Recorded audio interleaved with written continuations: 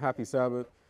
Um, I pray that we all been having a blessed week. I know I've been with the things that the Lord. Now I want to believe that everyone is as well, with um the thoughts that the Lord's been sharing with us. And well, my prayer is that we're we're God's word is always beautiful. You know, it's there's never a time where God's word is not beautiful. It's it, you know the the, um, the Bible says God is good, so every word in the word of the Lord it's good. It's always a good thought. And He says, "My thoughts are not your thoughts, um, for His thoughts are higher than our thoughts." You know, and the, a nice thought the Lord brought to mind with that is a ladder. The Jacob's ladder is just a higher thought. Every round is just a higher thought, and and as we climb that, as we climb Jacob's ladder, our thoughts are growing. And as we grow in thought, God hopes that we grow one day when we come up to the stature of where God is, you know, leaving this earth and going up to heaven. So every day we're supposed to rise higher and higher up Jacob's ladder. We're, what all sin is, we were speaking about it this morning. Sin just hates a knowledge of God. Sin doesn't want a knowledge of God. Sin, sin just wants know God. That's really sin. Just don't want God not to be. But um, and but life is knowing God. So the Lord wants us to know that in knowing Him, that's when we obtain and that's when we have life. So as we go through this study, um, looking into life and death, which is life just means knowledge and death means the absence of knowledge. Because Christ says this is life eternal that they might know.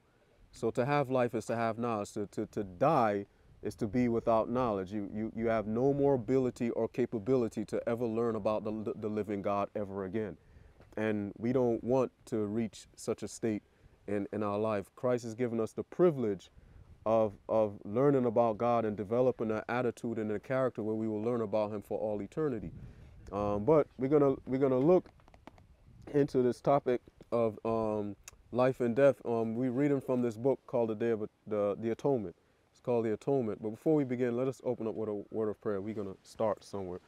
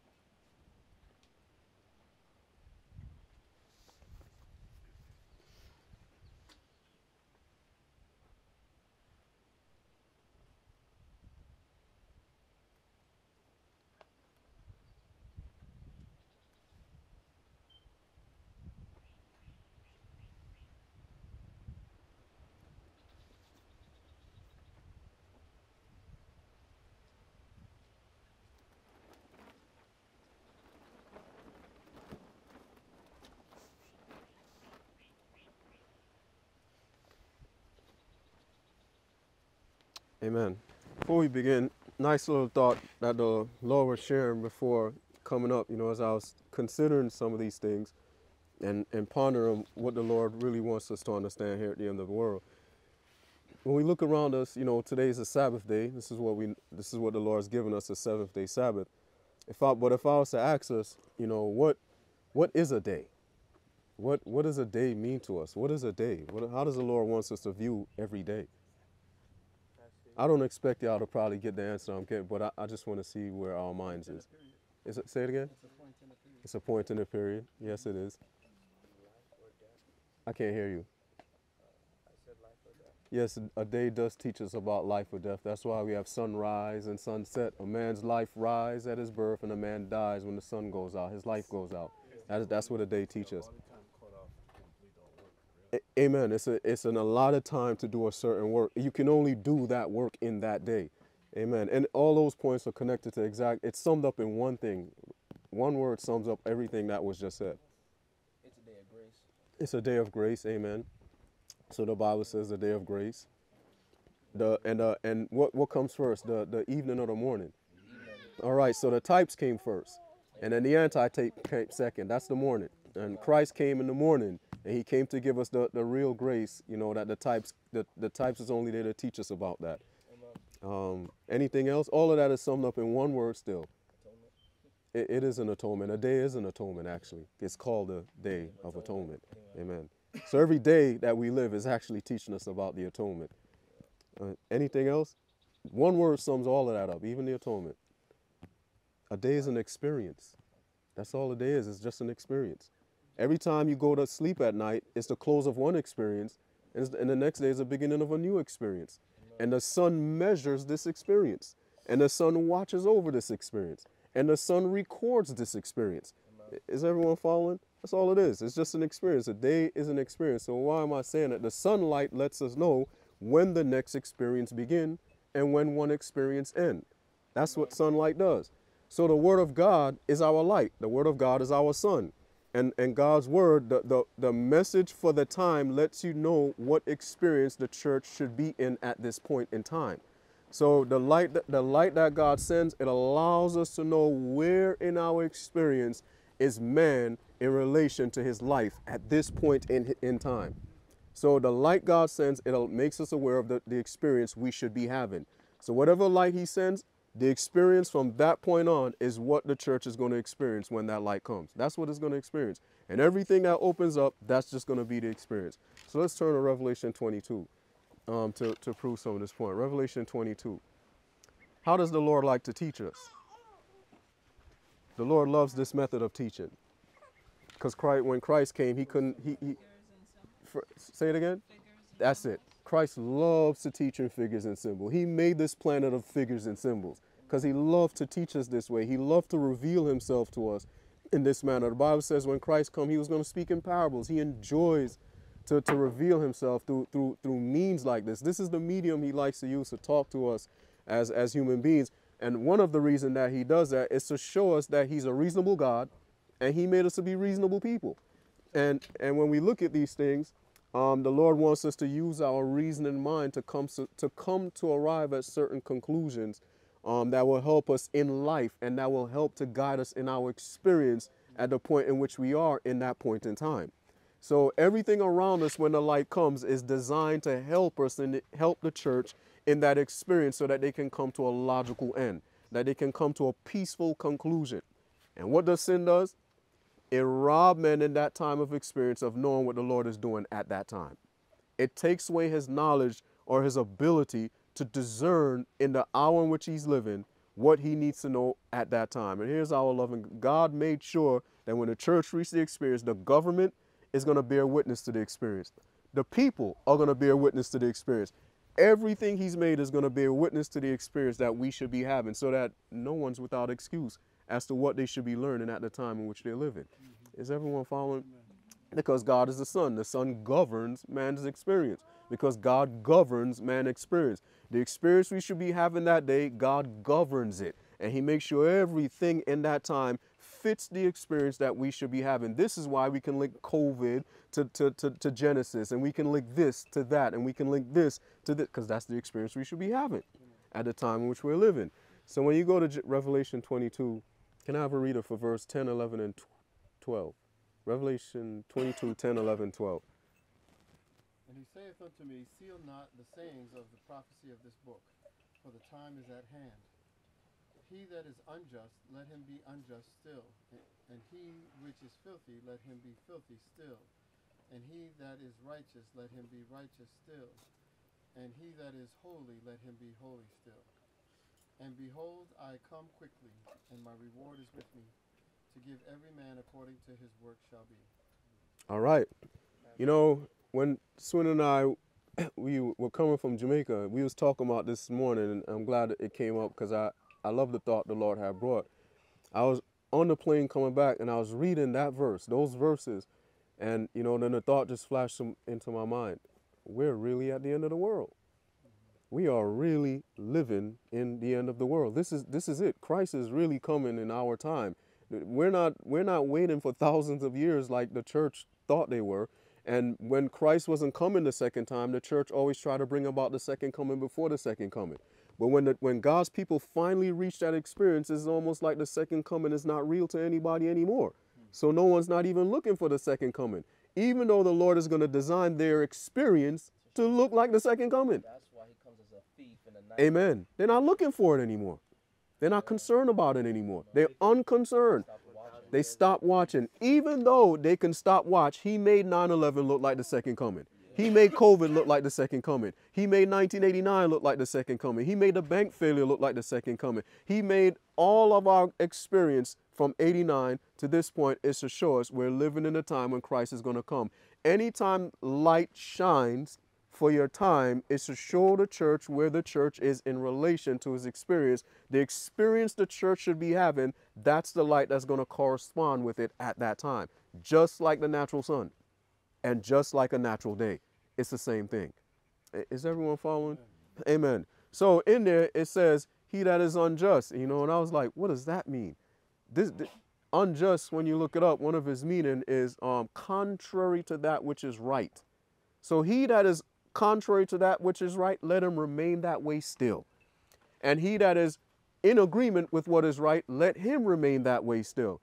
And then it says, He that is righteous, he that loves to do what God says is right, let him remain that way still. And he that is unrighteous, he that loves to do what God says is not right, let him remain that way still. So we've reached a point in history when man is going to come to a place where wherever their state of mind is for that day, they're going to die. That's how they're going to die. They're going to die with that state of mind for the rest of their existence, pretty much all their existence. So we're living in a time where what, how we're developing our minds matters more than any time in the history of this world. This is where it really matters because it's while we're alive we're going to be in a death state or a living state. While we're alive, you're going to be alive with the with the ability never to think a right thing again. You're going to be alive never with the ability to do a right thing again. You can only do wrong from this day forward, and you can only do right from this day. That's the real life and the real death we're about to experience. Is everyone following? That's close of probation. When probation closes, you will never have the ability to do a right thing ever again if you're on the unjust side. Unjust means justice. You will never desire justice. You will hate justice for the rest of your time on earth until Jesus comes. Or you'll be just. You'll love justice and you'll desire justice and you will never know what unjust is like anymore because that's taken from you. You don't have the Ellen White says they'll be try to call up sins and they can't bring it back. Why? Because Christ says, no, you're going to remain this way for all eternity. You're not going to be able to call up your past sins anymore or remember the unjust thing that no, because Christ already blocked that out of the records of history. The sun has burnt that history up, and you're not going to live that way anymore. This is the time we're living in. So, if what I'm saying is right, then the experience the world should be having, not just the church, the experience the world should be having should fit the explanation. And that's what we just went over yesterday. 1989, what did we see? They connected themselves with the papacy. Death. All things wrong. All things wrong. So what is America doing from that point on? All things wrong. They think they're doing it right, but no, they're gonna do wrong. They come to 96 and they think the best they, they think the best way to deal with terrorism is to make a law that restricts our civil liberty and so that we can deal. No, that's the wrong conclusion you can come to. The best defense for terrorism is actually to uphold the Constitution. If you uphold the Constitution, you're actually dealing with terrorism because the Constitution was designed to deal with terrorists. That's what it was designed to deal with. It mm-hmm. keeps the terror, the real terrorists, which is the papacy, out. This is the real terrorist. It keeps them out. So if you just lift up the Constitution, you wouldn't have this problem. And then you come to 9/11, death to information. How how the how they, they we perceive freedom of information, all of these things. No, what's the best thing to deal with information? The Constitution. If you just uplift the Constitution, which God has given the Constitution to be America's life. If America abides by this Constitution, it will continue to, life will continue to be preserved in this nation. Go ahead. Freedom of information allows you to know who is on Christ's side and who is on Satan's side. All the time. Talk. Amen. But when you put laws against the spreading of information, it just sends people on the ground. Amen. It- yes. evil, Amen. and you don't know who's good. Amen. It makes them hide. Yeah. And then you come down to the financial institution, death to that system. So you could just walk right down through our line, and the line from 1989 to where we are is in agreement with the light for this time. And what am I saying? When you go through the book of Revelation, you know, which I want to encourage us to do that, in order to really prove that verse, Revelation 22:10, where it says, "Unseal the sands of the prophecy of this book."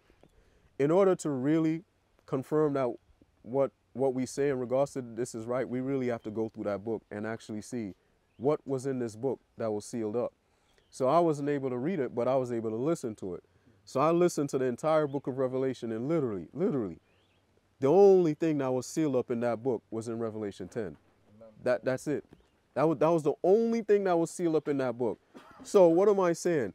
The Lord made sure that the history just before the close of probation, everyone can plainly understand it. It doesn't matter. If you don't know anything about what we teach, it, yes, it is your fault. Just go read that chapter and then actually read through the book because Christ said so. He says, Blessed is he that read it. So actually read through that book, and as you read through that book, you come to chapter 10. And it says, Seven thunders utter their voices. And John says, doing what he was told to do. John, in the beginning, he was told to write the things which he have seen, and and to and uh, and and um, the things which are the things, the things which was, and the things which are to come. So John heard the seven thunders, and following the command, he's about to write what he heard, what he saw, and what's about to come. But the angel said, No, no, no, no. seal up the sands of the seal up the sands that the seven thunders uttered, and write them not.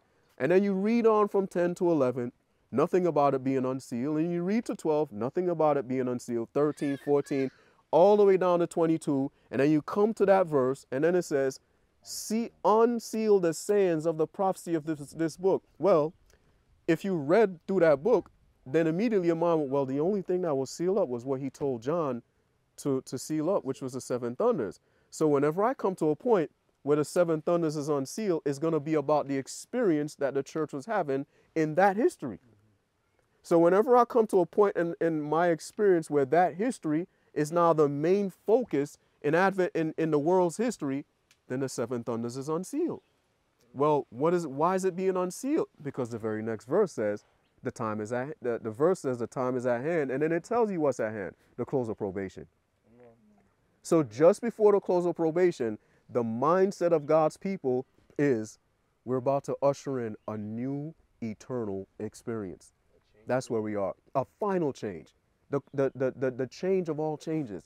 This one, there's no reversing to this change. Because a person died today and we go to sleep today and we get to wake up tomorrow and begin a new experience. But this change, no, you, you go to sleep, you go to sleep. You, you, you, however you slept, you're not getting back up. Is everyone following? Whatever state you, whatever state you're found in, when Christ closes probation, that's the state you will be in for all eternity. That's just the state you're going to be in. So the fact that we're living in that time, that means the light that's coming to us now is in relation to those verses. Because prior to that, nobody couldn't understand it really. They couldn't really understand it like how we're understanding it. Ellen White, they put those things in place for us because we're actually, she gave the, the, the first part. Uh, all of the pioneers, and they gave the first part to the close of probation, but we're actually dealing with the last part to it. We're actually going to learn what men are going to experience when they when they when they come to that. She says her pen couldn't describe it. She tried her best to describe it. The Lord is going to give life to what they wrote. Yes, amen. um, judgment of the dead. So Amen. What they wrote was based on the dead, and now we're, we're approaching the judgment of the living. So the Lord is going to awake what they wrote in Amen. a new way because He's giving life to it. He giving life to it, and but it's for us now. It's for us. It's for us. So I just want us to see that before we read this article. Of now we're gonna go into the article, um, and we um, we're gonna take turns reading it. I'll probably start on my left side. Um, we can go around, and hopefully um, if we all got to read. It. If we didn't get to read it, that's fine. Um, but um, we're gonna read it. This article, and if you have the notes, I probably made some pointers in there with the notes, and I'm gonna ask um, when you get to that, just read that part because I won't be able to to see it there. The the part the, the parts that I added in there. But if you read it and you have some thoughts that you want to bring out, please share those thoughts as well because this is this kind of setting. So um, that's that's okay with everyone. All right, amen. So we're gonna read this. It's a wonderful little book um, written by one of the trees in our garden, Stephenson. Um, the atonement. We want to encourage every everyone to read it because it, it it is it is connected to the Day of Atonement. He wrote it because it was in relation to the atonement, um, to the Day of Atonement, something that we need to understand. And he's going to talk about the nature of man, the nature of God's law, and and and our relation to to, to God's law. And we're going to come to a point that's going to probably, we're going to probably not probably, hopefully all of us, we're going to learn something new about Genesis 2 verse 16 and 17 that I learned new. And it's also when we get there, we'll talk about it more. But can we begin the reading, please? We're gonna start with the same one we stopped at last night. We're on page 13. No, not it's it's 18. Yeah. Bottom of page 18. Oh, yeah, I was talking about. Okay. So we'll begin left and just y'all can see the order of how you'll go. I can't really.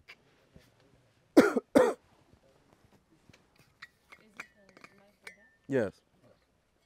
You scroll down to he said 18. Bottom of 18.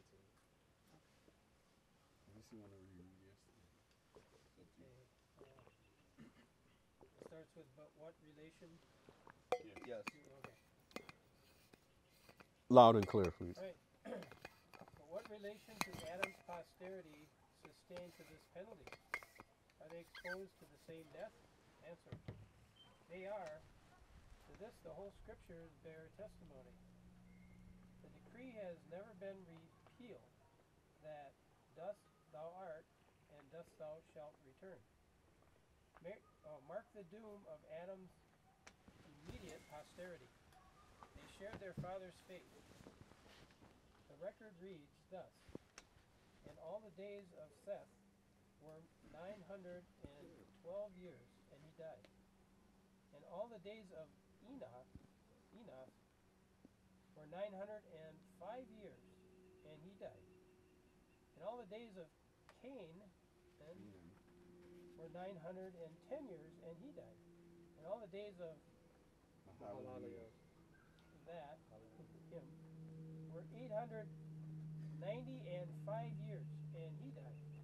And all the days of Jared were 960 and 2 years, and he died. And all the days of Methuselah were 969 and 9 years, and he died.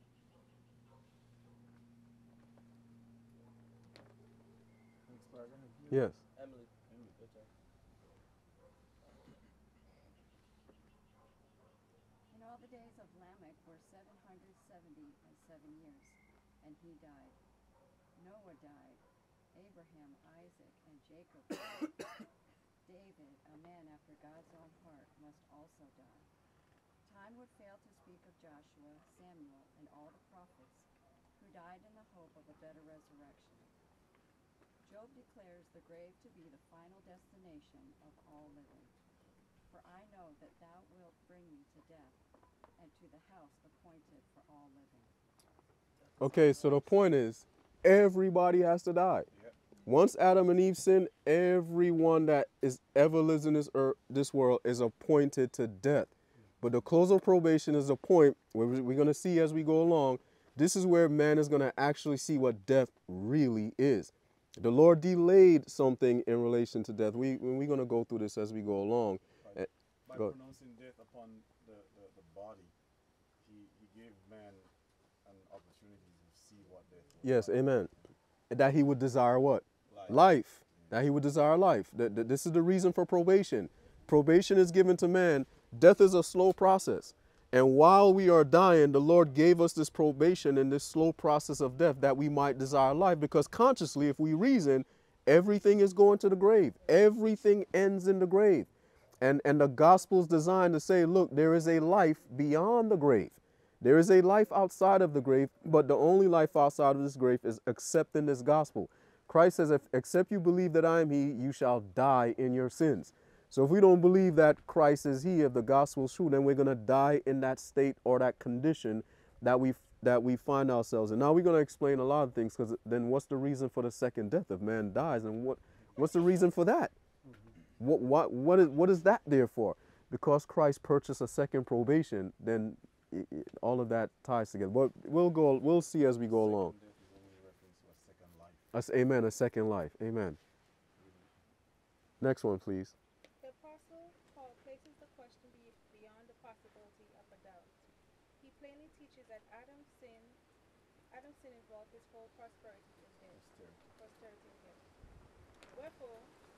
that one man's sin entered into the world, and death by sin, so death passed upon all men, for that all have sinned. Not that all have sinned after the similitude of Adam's transgression, but by or through Adam as all represent, represented, all have sinned. Adam sinned personally, whereas his posterity sinned by proxy or by a representative.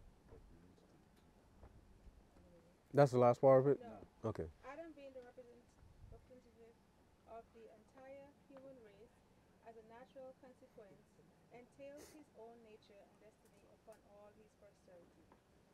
Having therefore incurred a mortal, corruptible, dying nature, he entails the same nature upon the generations proceeding from him. Of course, he could give his children no better nature than Huh? that which he himself possessed. Again, the same apostle says, for, in, for as in Adam all died, Yeah, I'm on, it's thereby later on. Yeah. all mankind suffered the penalty threatened Adam in the Garden of Eden. Enoch and Elijah are accepted, and the righteous living at the, at the advent of our blessed Redeemer will be exceptions to this statement, unless those did, and they will be, uh, they will undergo, and these will undergo a change equivalent to death. Who dare say they did not, and dare, these will not? Okay, that's that's the mystery part that we're still trying to. They had to pass through something. Yeah, because all died. And but I, what I want us to see though, and hopefully we, we we're seeing some of these things. We're all subject to Adam's penalty, which was death. Even though we, but what are we subjected to our own selves? Not not that the things we did after that, because we're gonna receive the we're gonna but our own sins. We also have to answer to those things. That's not answered. Yeah, that's not answered in that one. That's for Adam's crime. So we got to answer for our own crime. But in order to answer for our crime, we must first pay Adam's penalty. And then we're to need a what? A second life to do what? To pay for our own crime. Yes, yes. Is everyone following? Yeah, what's, what's nice about that, I like this thought. you go back it said to Adam, be fruitful and multiply. Because of that, that, that command, Christ could not have um, let those that have come after be, be, be susceptible to what Adam did. Amen. They only came after, After. the result of the Yep. They had- fruitful and multiply. They had no, they couldn't control that. No, they couldn't control Yeah. that because the command went forth. Amen. fruitful and multiply. So they got to fulfill it. Christ had to do something to Amen. give them, Amen. All, to give all those that come after Adam an opportunity to choose life. And what did Christ give us? A second probation. Yes. He gave us an opportunity to escape the second death. To escape the second pun because the, the second punishment is to pay for the penalty in your life. Adam, we're paying for Adam's penalty in this life. That, that it's not Adam was natural, so it has to be a natural death. So Yes. Has to be a natural death. But because we the Lord the Lord froze the penalty so that we like Swinton says so that we can choose life. This is the second probation. Because we are born, we, didn't, cho- we, don't, get to choose.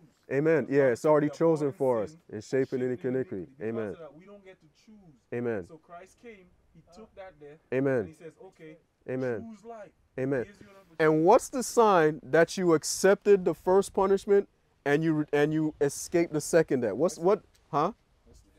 What what did the Lord put in place to show that we that we escaped the second death? Baptism. Baptism. Baptism. When you get baptized, you're acknowledging I choose this and I want to escape that. Yes, it's life or death Y'all follow? Yes, I want to escape the second one. I choose the life of Christ.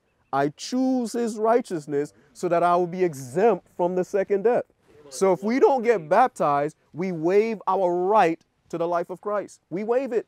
We said, Lord, we don't want your second probation. We want this life. Well, okay, you want this life? Well, you're going to want the second life. That one is going to come to you whether you want it or not. Yeah, it's going to come whether you want it or not. But I'm giving you an opportunity for that one not to come upon you by choosing Christ. Choose Him. And then that one will have no power over you because it had no power over Christ. Go ahead. That's why to be baptized in the right message. Amen. By Absolutely. the right people. Am- yes, praise because God. That's something the Lord has been showing us lately. John the Baptist. The yeah. right people must baptize you. This is the reason Amen. for organization. Amen. Because organization puts the right people in place Amen. perform the right baptism Amen. under the right message. And until the church have a knowledge of who's the right people with the right message, they, they can't be baptized. Because you, Amen. because you don't know what you're getting baptized into. Can I? I'm gonna add to what Swindon said. Is heaven the right place? Yeah. Does heaven has the right things in place? Does heaven know what standard people need to meet in order to be baptized? Yes. Is it different on earth? No. It's not supposed to be. It's supposed to be the same way. So as it's in as it's in heaven, it must be on earth. So that heaven is an organized place. So there must be an organization down here. And there must be a standard that heaven has that must be down here so that men can see that same standard. So when we get baptized, we know the requirements. Amen. And you've really now entered into the, the role in heaven. As it are now, at the times of this ignorance, if we didn't know that before, that's we didn't know that before. Heaven will still accept that because you didn't know. But now that the Lord is making us knowledgeable of this step, we can't live under that ignorant state anymore. So if we were baptized under that ignorant state and we come under the understanding of the correct way of baptism, we have to be re what? Baptized. Because you you now have a correct understanding. So if we haven't been baptized, and those watching, if you haven't been baptized, it's a very important step to take. Because if you don't take it, you're not going to escape the second death. Baptism is the baptism is the place where God's people come. So that one, the wrath of God, doesn't abide on us, but the life that Christ get, that's what we're going to receive. That's the importance of baptism. Amen. But you would live there. amen. From that moment on. So then what's the reason for this one? God can't take away the first death. He can't. He can't take it away because he says the day thou eatest thereof, thou shalt surely die. That's a command that must be carried out. He can't remove it. This is why Christ don't come to save us from this life. He comes to give us the power to live in this life the right way and escape the second one. Is everyone following? This life is appointed to everybody. This is the cross we have to bear in this life. Yeah, because yes, we have to bear. This is the one that Christ says, "Take my yoke upon you, because my burden, this choice that I've given you to live in this life with all of its woes and perplexities and ups and downs and twistings and turns, and this is the only cross I'm asking you to bear." As an example, he took on flesh. Yeah, he took on flesh. I just want you to bear this life. Yes, there's yes, there's gonna be you're gonna have money to pay your rent today, and all of a sudden you wake up tomorrow, there's no money to pay your rent. That's the cross. Bear it. Bear it. Yes, you have a car that's working today, and then you wake up tomorrow, the car stops working. That's the cross. Bear it. You don't want the other one where your car stops working forever. Hmm. Or you have no house forever. Or you don't have it, you don't want that iron yoke. You want this wooden yoke, this easy one. This is the easy, this life is really actually easy with Christ. Amen. Only with Christ can this life be easy. I really pray I, we can come to a point in our minds where we really look at life like that. I really do pray for that. Where we can wake up every day and no matter what comes, you know what, Lord, this is easy. This is really easy. I, yes, I don't. I, I hate this condition I'm in, but I have to. Lord, this is easy. You know, this is what this is the lot. I have to bear this cross because I don't want the other one where there's no sight for all eternity. We don't want that one. We don't want that second. That that's that's for those who don't accept Christ in this life. Go ahead, Rashad. Yeah, that makes um, it brings more understanding to to why the Lord says it's easier for the camel to go into the, high, the eye of a needle mm-hmm. than for a rich man to enter into the kingdom of God. Amen. Because the rich man is making their their first life Yeah. their second life. Ah, oh Where man. the first life is easy, and so by by accepting this first life of ease, they're rejecting the second life of ease with ease when you're in the kingdom. So what do they do? What you just showed me there, they're having their prodigal son experience. Amen. All the blessing that they should get in, in the world to come, they want it naturally now. And if you receive it all now, then you've you've taken all the resources that you should have got then. So the Lord can't give you it then. Because he used you spent it all up in this life.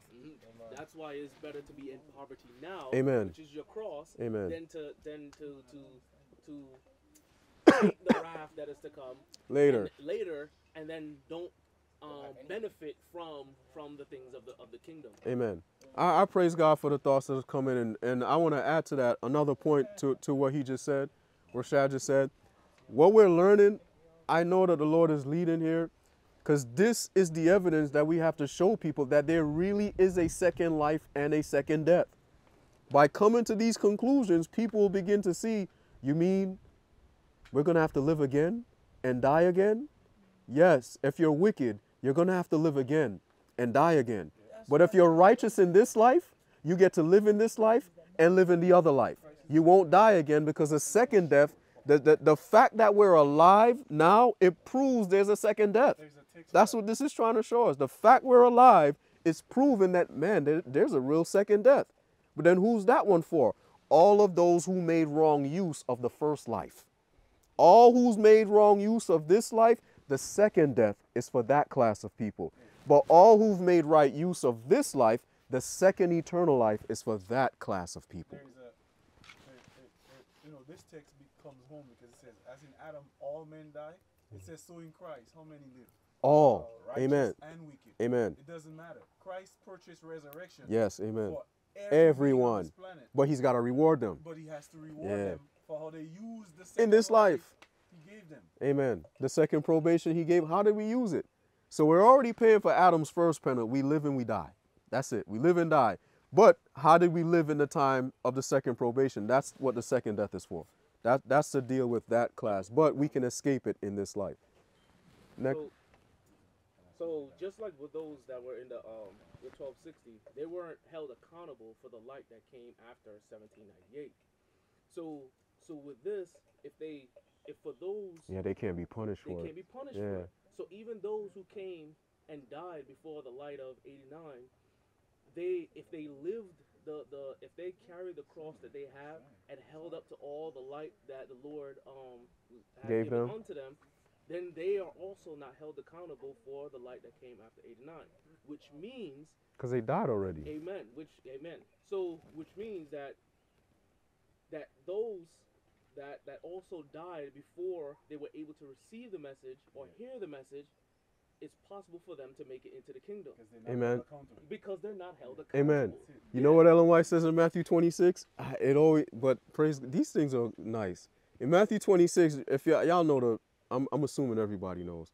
In a parable, when Christ says, You've done this unto the least of one of these my brethren, she took that and she says, This is showing those who didn't know Christ at all. They didn't know him and they make it to heaven. And then she said it also shows people who knew nothing of they don't know God, but they lived according to what nature teaches them. They lived right. They did they used the life Christ gave them to do right. So therefore Christ, yes, he purchased. So they used the life right so he can save them. But we are more rich. They're the real poor ones. We are rich because we know Christ. And with the knowledge that we have of Christ, we live like the heathen. That's why you can't judge men. Yeah, you can't. You can't judge them. We live like heathen even though we have a knowledge of Christ. So what does that teach us? Here's what it teaches. We're in a worse condition than those who didn't know him. Why? Because we are harder to save. We're so hard to save. The Lord couldn't give us that lot. The lot he gave us is to know him to, to make it easier for us to be saved. Is everyone following? A lot of, there's a, so much that goes into the plan of salvation, and we're so privileged by God to be learning about this plan of salvation. We're so privileged. There's a lot that goes into it.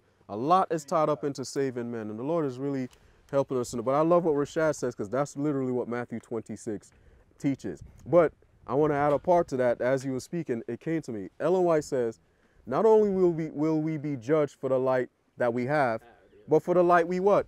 Could, so they are going to be punished for that light because they could have had it. So some people that could have had it, they are going to suffer what what they could have had. But then it fits for the righteous. The righteous, because they're studying, they're looking at the light they could because she says the the prophets they desire. Daniel wanted to know. Daniel said, Lord, what what what's the end of these things? They're gonna get it. Because they have a they hunger to they died with a hunger and a thirst for Christ's righteousness. So Christ is gonna fill them in the second in the first resurrection. He's gonna give them what they died longing for. So they actually get to have it. But the wicked who didn't want it and could have had it, they're still gonna get it. But on the yeah, and given to those that have not. So it's really nice for the Lord. There a lot goes into the plan of salvation, and we are privileged to be to, to share with Christ in this information. But what do we do with this information after we leave here? That's that's what matters. What do we do with this information? Is this information going to change my life? Is it going to make me live right? Because it's really designed to make us live right. Or is it going to or am I going to leave here and continue in the same state of mind I came with before this. That's terrible.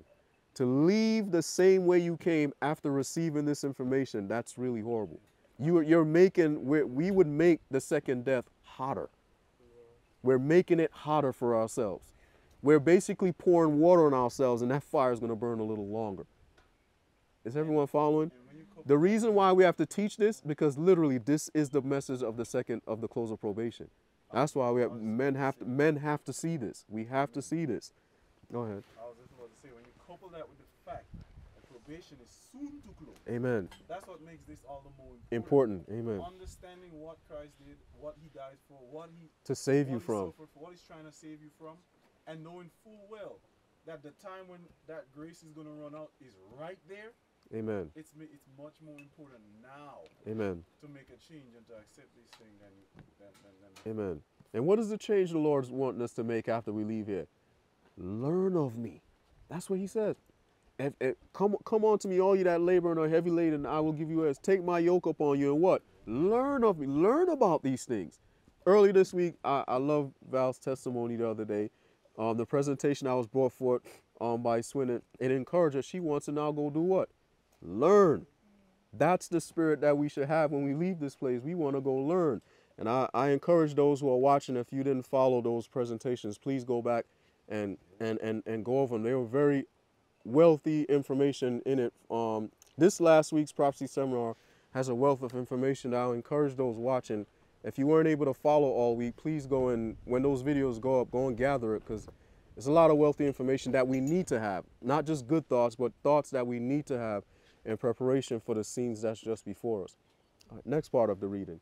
I like the thoughts. Keep the thoughts coming because this this article really did the same thing. I want to share a part with you. In reading this article, when I was going through it, I literally, I got up from reading it right before worship, and I'm like, Lord, where do I begin? So much thoughts was flying into the mind. I didn't know what to do. I'm like, Lord, what do I teach my family? I, I don't. I, this article really generates life. That's what I want to get to. Life comes out of truth. Generates life. Life is knowledge. And when you read this article, a whole bunch of knowledge starts pouring into the mind. I'm like, and from there, I'm like, Lord, you and you inspired this man to write this thing. Your spirit went into this man, and he wrote what you gave him. And I and, and that's why I want to encourage us to read this article. It's a lengthy article, but it's it's it's worth the read um, as we go through it. But I got up from that and I said, Lord, what do I now teach my family? And then the thought came, just bring in right where you stop. And that's where I started with my fa- with, with my family, and it was a blessing. It was a real blessing, and you know we really learned something as we went. This article is really a beautiful article, and I and I, I can't stress reading it. I I I I I, I think I, that day I said, Lord, I'm going to encourage a lot of people to read this. I want to um, encourage many. Every Seventh Day Adventist should read this article because it's, it's the information it has is really for the Day of Atonement. I mean, he wrote it for the Day of Atonement, and um, and the reason um, I talking to Swin and the Lord just poured in more thoughts, and just and just so much thoughts came out of it. But the one reason um, I knew it was connected because Lissa was watching a study that that we had done, and um, she says, "Daddy, I want to learn about the judgment of the living." You know, and, and like, what can you tell me about the judgment of the living? I'm like, listen, basically, where do I start? You know, and I'm like, you know, I want to learn about it myself because that's our experience. So I, I didn't know what to say to her at the time because I know what we taught in the past, but what we taught in the past is just telling us where it's coming. You know, that it's at the Sunday law and, and, the, and we need to be, yeah, we need to know that, obviously. We need to know that it's at the Sunday law. But what is it itself? What's going to happen there? What's going to take place? What information do I need when I come there? I didn't know what to say to her. And I said, Lord, I need to understand this because this is what we're actually going to go through. And I said, where do I begin? Well, something said begin in Leviticus 16. So I went to Leviticus 16. And what the Lord showed, Leviticus 16 and Leviticus 23 is teaching you two different things about the judgment of the living. It's the same thing, but they're teaching two different things. If you read Leviticus 16, it's telling you the responsibility of the high priest and the ministers that Christ appointed on earth. If you read Leviticus 23, it's telling you about the body, the people, the church. So 2016 is about the head, and 23 is about the body. Is everyone following? Mm-hmm. So when you read 23, the information, if you're a member of Christ Church, chapter 23 is the most important thing for you. But we're all members of his church. But if Christ has appointed you as a minister, you better understand Leviticus 16. Is everyone following? Because Aaron had to minister to his family. Whoever God has appointed as leaders in his church, Leviticus 16 is very important for them to understand because that chapter begins by saying, You better not serve the people strong drink. Are you following? If you're a minister and you're giving the people strong drink, the day that begins, you're going to die. So, you know what that means? We're going to see many Seventh day Adventists drop dead at the beginning of the judgment of the living. Many of them. They're just going to die. Because what is it teaching you? The close of probation. The close of probation. As soon as it goes forth, many of them are just going to die right where they're preaching. Right? Because that's what happened in Leviticus 16. They offered wine and they died right there where, where they were offering. So that's the warning for leaders. If you're in a leadership position and you don't understand that when the judgment of the living begins and you're offering strange wine, you are literally, I'm not talking spiritual, you are literally going to die. That's how the chapter begins. Yeah, and some people going to receive the, the, the, the, strong delusion as well. And, and there, that one, Ellen White says, they don't even die the first plague or the second plague or the third plague or the fourth. They're going all the way to the, to the second coming of Christ. Christ is going to deal with them personally. Is everyone following? That fire is going to burn them up. That's how fearful this thing really is. That's how fear. But 23 now is dealing with the members who are not leaders, who are not in leadership position. And it says they need to afflict their souls, and all who don't afflict their souls, they will die. They'll be cut off. And it will be, and Ellen White said it had been better that they had not been born. Had been better that they hadn't been born. So it's just as fearful for the members as much as it is for the leaders at the same time. So it, it, it, so I went to go read that, and then I, I typed in atonement, and then this article came up, and from that I was like, Lord, praise God, you led here. I, I know you led here because the information it has is exactly what I, I needed in, or, in, in order to help um, the question that was asked. What about the judgment of the living? This is what this article is really dealing with. And we need to understand the state of man in order to properly and correctly enter into the job. I mean, I, I'm not, my plan is not to get through all of this article because that part we can read on our own. But as the thoughts come out, this is what I, you know, I was praying for. I'm like, Lord, let the thoughts fly out, so that way we can we can see how lively this article really is and the information that it gives to us, so that we can understand the work of the plan of salvation a little better. Amen. Okay, next reader, please. Um, 13.1, The first penalty or the death it inflicts is unconditional. There were no conditions or provisos attached to the penalty. The language in which it is expressed excludes the possibility of pardon, without setting the, the law and its penalty aside. For in the day that thou eatest thereof, thou shalt surely die. For thus thou art, and unto dust thou shalt return. It is inflexible, it must have the life of its victim. Does everyone understand that? Simple, right? God can't reverse that one because he told Adam straightforward, the day you eat, the day you die. So he can't reverse it. it. The word's already gone out of his mouth. But however, the Lord made provisions to live in this death condition. And he says, Adam, here's how I want you to live. By the sweat of your brow, you're gonna, you're gonna eat bread. This is how I want you to live in this state of life and teach this to your children because this is the condition that your children is to live in for the rest of until probation closes. And then he says, "Woman, here's your curse. In this life, I want you to I want you to submit yourself to the husband." It doesn't say it there, but that's what it says in Ephesians. That was her. It says, "Your husband shall rule over you." This is your lot. You have to submit to this position, to this state of living until when? Till the close of probation. You have to stay in this condition until you die. Stay like this. So what is Satan going to come and do? Make men leave that position. That's what he's going to do. The new temptation is to make men not work by the sweat of the brow. Make their money make money. Not them go out and make money, make their money. So what does it set in? A love for money. Laziness. And what does that bring? Idleness. And what does that bring? Sodomy. Sodom was a, just a bunch of people not fulfilling that command the bread of idleness. And then when you look at the woman, the papacy is just the woman not submitting herself to the nation. She wants to rule the nation. So she's just rebelling against the first command that the Lord gave after sin. This is what I want. This is how I want men and women to live. In, in other words, the son law is the perfection of Adam. Amen. Sin, Amen. the perfection of Eve's, Amen. Sin, the man of sin. Amen. But because wicked men and us too, because we're we're we're not exempt from that. Our, our the things we did in life also is gonna bring things later on in life. It may not come upon us. The story of David teaches that lesson. The things I do in life, it may not come upon me, but it will come upon my children. Yeah, somebody else is gonna pay for it. So the wrongs that I did today, the fruits is gonna come later. I may bear some of it like Jacob, or may or the Lord may cause it to fall on somebody else if we're like David. But it's coming. And there's nothing we can do about it. So why am I saying that? Saying that because now to have life, this is a new currency Swindon was talking about. By the sweat of your brow, you're gonna eat this bread. So if we want life at the Sunday law, it's gonna be a terrible test. Yeah, in, yeah, yeah, amen. Perfect obedience in order to continue to eat the bread that's gonna come at the Sunday law. But praise God, if we're training to live that way now, it should be easy for us to work that way then. Amen. Amen. Remember where we start, how we started. The experience that God's people is going to go through, Christ teaches them by examples and parables. Before the real experience comes, Jesus doesn't change. He never changed. And praise God for that.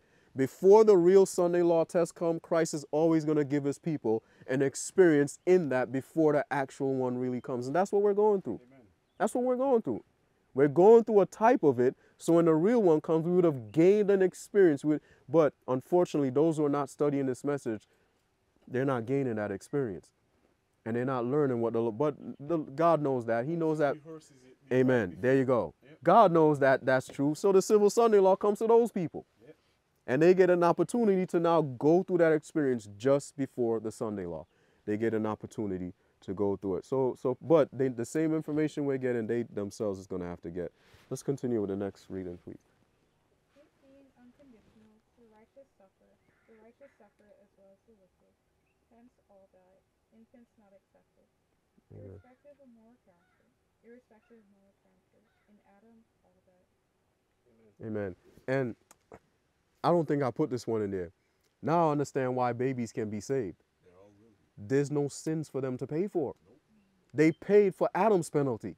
But what sin did they commit? Nothing. So how can they go to the second death? Y'all following? How can they go? They can't go. Yeah, they can't. Amen. So they, they, there's nothing, there's nothing they can, and he talked about it in, but I don't think I put it in there. But in it, when you read it, you'll see he talks about that. It says infant. This is why I infants can be saved. The truth. Amen. He's Only for it. Abortion to try to make the world think that, that because it, it, it appalls Christians. It make it make people think that what is this wicked act? But in that, God is saving. The Lord is saving God is them. saving. Yeah, there's gonna be a lot of saved people. A lots of people are really gonna be. Why? Why are they gonna be saved? Because they're gonna take the place of all of those who who grew up to that and should have gotten it. And because what it says, your children will get it. Isn't that what he says? Your children will get it. And it, go read that chapter. It says because they did they didn't know the sin that you did. It says it in there. It says it in there. The Lord told it says your children didn't know what you knew. And so therefore I will take them in, but you are gonna die in the wilderness because you know so much. And with the so much I've given you, you still want to go eat the leeks and onions of Egypt. You still want to go eat. it. So I'm gonna take your children into the kingdom. Amen. So I was like, praise a lot of people's gonna really be in heaven. Lots of people gonna be in heaven. So Satan thought that he reduced the number. No, he actually increased the number. He increased it. But man, what what position are we in though? Terrible. You know, what position are because we know this. We have a knowledge. You know, we have a knowledge of this. And and let's not allow children to take our crowns. Let them get their crown because they're gonna get it anyway. But let's not allow our crowns to be taken. Reward is great for the 140,000. Amen. Amen. They go through it and they choose to. They choose to go through it. So I, I, I praise God. Next reading.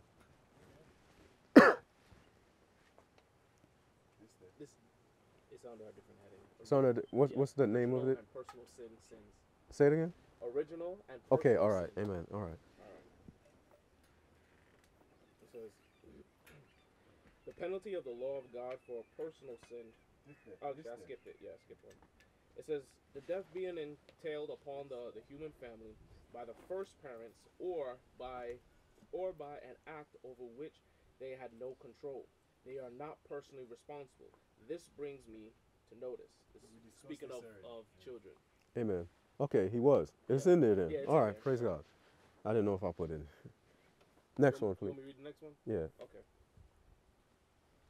It says the penalty of the law of God for personal sins it is death.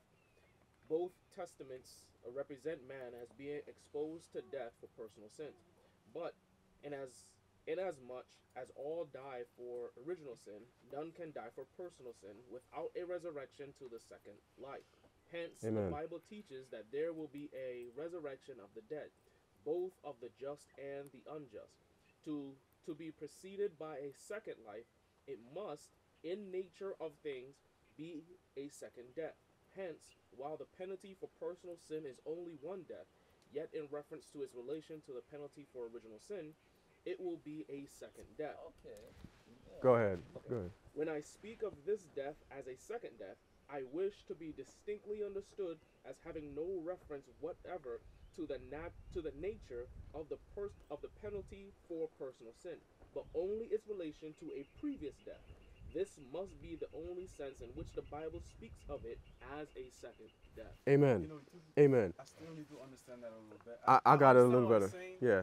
But it takes a little because the second death is only second because of its position, Amen. Yeah. not in relation to what order. it is. First Adam, second Adam. Yeah. Yeah. So I, I still want to. There should have never been a second Adam. I still want to understand that a little better though. Amen. You was gonna say something, Mario? I had I had a thought before, but I forgot it. But Okay. Does anyone know? Wh- I, I I like that as he was reading. uh, That answers. This clears up something else, at least for me. Why can't you? Why can't you pay for personal sins? Why can't you pay for it? You didn't die yet. You're still living. oh You can't pay for it. Yeah, th- how can you pay for it when you're still living? It's appointed unto man once to what? Die, then the second death, then the death. You have to finish the life first. We're living under the conditions of the, the first sin, the original one. And in this one, because Adam, the, the test was easy then. The easy test was just don't eat from the tree. That's it. But in the second probation, the test is different. Husband, what does it say? Husband, by the sweat of your brow. This is the conditions for the, to live in this life. By the sweat of your brow. If you do this, this is the cross that, that the Father and the Son chose this cross for the second probation. This is the cross. And he says, Woman, submit yourself to your husband. This is the cross for the second probation. If you can live this way until you die, you escape the second death.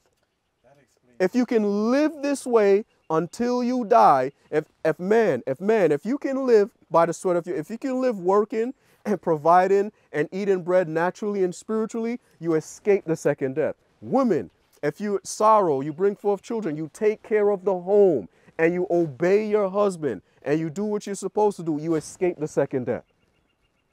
When you die, there's a period of time, a thousand years. What's that thousand years for? To investigate why they're going to die the second death. Why? What did they do in their life that makes them worthy of the second death? So that period of time is there to help the righteous understand why they're going into the lake of fire. This is why they're going in. But the second death can't happen while you're alive. It just makes sense. Because your personal sins didn't stop yet. It stops when you die. Your day ends when you go to sleep. So your day, your life, when your life ends, now you can pay for it the day you wake up. Everything you did the day before, you pay for it in the day you wake up. Almost Yes. stand. Amen. Almost stand before the bar. That's Yes. what it is. Amen. One has to stand before. Amen. So what? So our natural life literally teaches us that there is a second death and a second life. Our natural life really teaches that.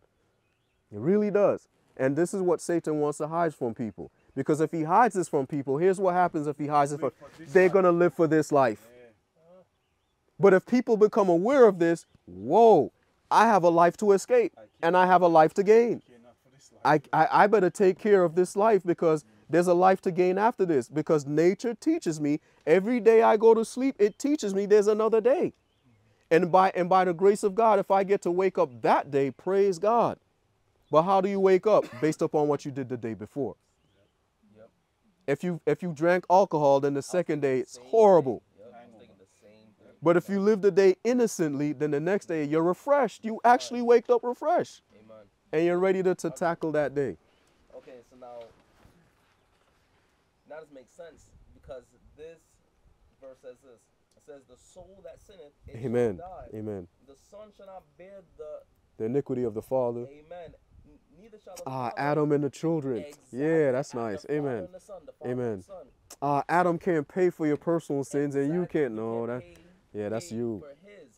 Amen. But because he sinned, you now die, die, um, Your own sin a, a, amen. Yeah. For your own You penalty. inherit Your Yeah. Yeah, exactly. not die the death of. But now, because you sin, you now have to die for your sin. Amen. So then you you die because of the first sin and the last sin.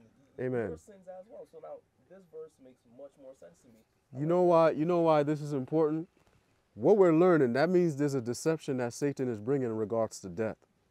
And if we don't understand this concept, it's going to swallow us up. The, the, the, the, the, the deception he because he has a secret weapon about death that he's going to bring to scare people to receive the mark of the beast. Amen. And if we don't understand the true relation between death and life, we're going to receive. I'm telling you, Advent, we think that all we need to know is Sabbath and Sunday. There's a lot more to it's, it's, it is Sabbath and Sunday. Sunday But there needs to be a temptation to make you go away from Sabbath to Sunday. Something needs to come to tempt you to make you believe you have to give up the Sabbath and accept Sunday. And what's going to come is you're not going to die or you are going to die. You're not going to die if you keep Sunday, or you're going to die if you keep the Sabbath. So there's a powerful delusion that Satan is about to bring in regards to death, and understanding the truth before he brings it is going to is going to be very rewarding. But if the truth is not a part of your life, then it's not going to really avail you anything. So remember, there's one thing the Lord, every truth he teaches us, there's a life in it. Amen. There is a life, and the life is a principle. There's a like remember, there's a principle in whatever He's teaching us that if we if we can find it, because Christ says, "Narrows the way that leadeth to life, and few there be that find that hidden principle." If we find that principle to the truth in which we're learning, then we'll have life, no matter what. Even if you fall, even if you fall, what does the Bible say? Because the principle is in you, have to rise again. Is everyone following? You because the principle is in you, you gotta rise again. A just man falls seven times, but he's gonna rise because the principle he can't fall. The Lord's gonna cover him. Amen. But if you don't find that principle, you can't rise again. Amen. And it is found. It is found with um, Christ. with Christ because He rose says, again. I have the keys of hell and death. Amen. When you have that key, that is Man, that's your life. is that um. That's that light on um on Darkness, death. yeah, yeah death that that How long is that? that we almost see so that death won't Have any power over you? amen yeah That's it? Yeah. What you say, Rashad? Said you only have one. One? One minute. Yeah. All right, we'll stop right here. We'll stop right here. And where do we stop? Page. 13.4. Yeah. It's the same page 24. same heading. Yeah, under the same heading. All right, we'll stop right here. We'll stop here, and by the grace of God, come back in the next 15. Shall we pray? Heavenly Father, Lord, truly you are here with us um, this morning. For Lord, these things that we're learning, flesh and blood can't really teach these things to us, oh Lord. We're learning something that, that's, that's divine in nature because sin hides death from view. The very first sin was the, the very first temptation. In that temptation, um, death was hidden from Adam and Eve. And, and you had to show them that death is a real thing and life is also a real thing.